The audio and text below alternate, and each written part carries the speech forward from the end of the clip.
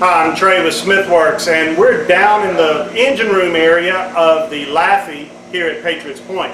And they asked us to kind of do some stuff to kind of bring the engine room and the gener generator room to life. So we're going to give you a little feel of what we did. If you'll come on in here, follow me.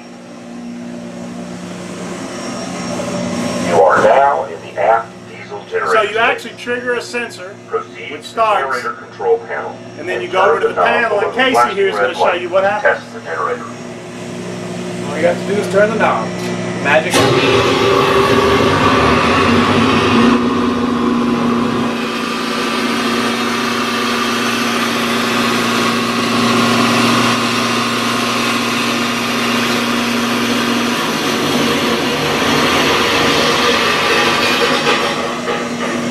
Test complete. Please proceed to the number two engine room. So that was our test of the emergency generator. Now let's go in the engine room and let you see what that does.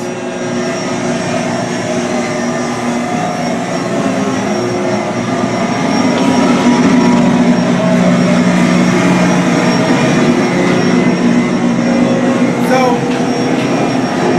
it's a little noisy in here. What we've tried to do is simulate what sounds like the engine's running. Obviously that's all the noise you're going to hear in the background.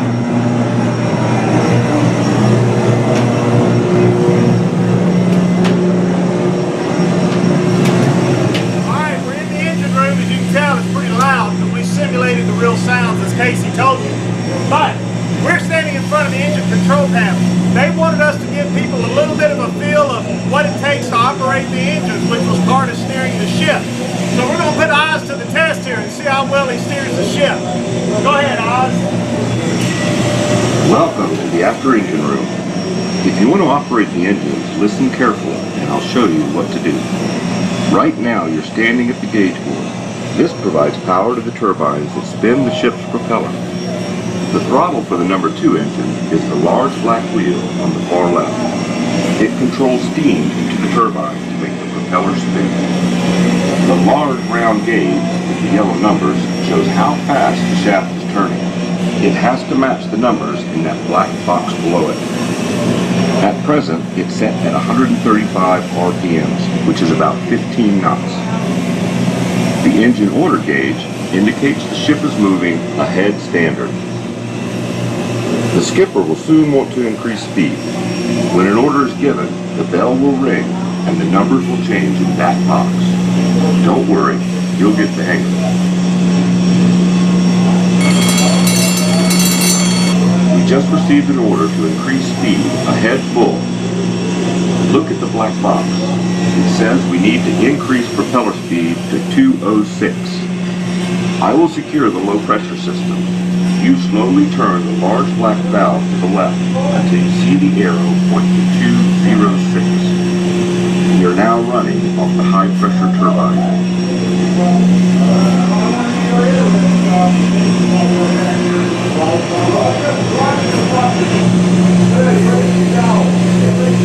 Okay, nice job. We're about to rejoin the task group. Be prepared to adjust speed again.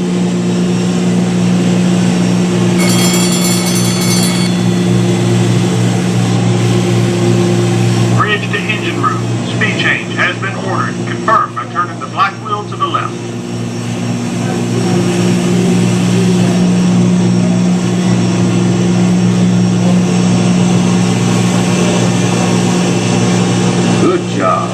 Looks like you've got the hang of it.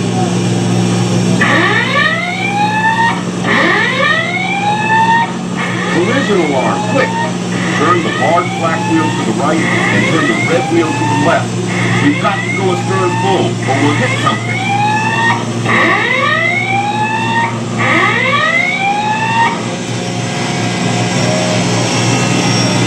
Collision averted. Bravo Zulu engine room from the captain. Nice work. You make a good sniper. All right, good job, Oz. So you can see we made this an interactive experience for people. Actually, if Oz would have messed up, the ship would have crashed, and you'd have a whole crashing experience. But we've engaged this. We got this completely automated. We'll give you a little behind-the-scenes look at what's actually running all this. this is the equipment that runs that engine room you just saw.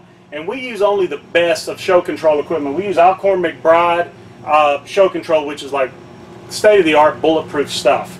And we've got this running the engine room because it takes a lot of logic to run that room so that when the wheels turn, it knows uh, what gauges to move, what happens if they turn the wheel the wrong way.